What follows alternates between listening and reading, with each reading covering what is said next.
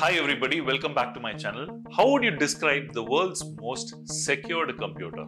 In my uh, opinion, the world's most secured computer is a system that is either not connected to the internet or is powered off, right? What if I told you even if your system is powered off, there are techniques which attackers can deploy to switch on a computer from remote and still compromise them. Yes, there is a popular technique called wake on LAN, which is otherwise called WOL, wall.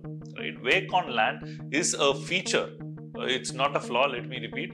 Wake on LAN is a feature that is often shipped with most popular machines these days, especially as a default setting with most Apple systems.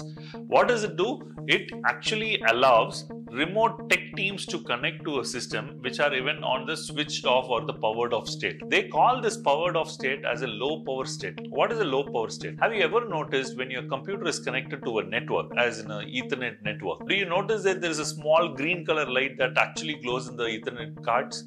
Even when your system is switched off, that simply means that there is a low voltage power that is being supplied to your Ethernet cards through the Ethernet itself, right?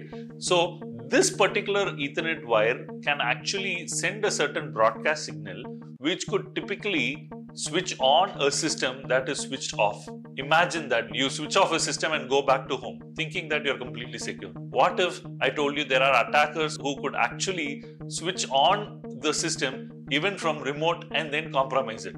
Yes, it is possible. Thanks for watching. Don't forget to subscribe.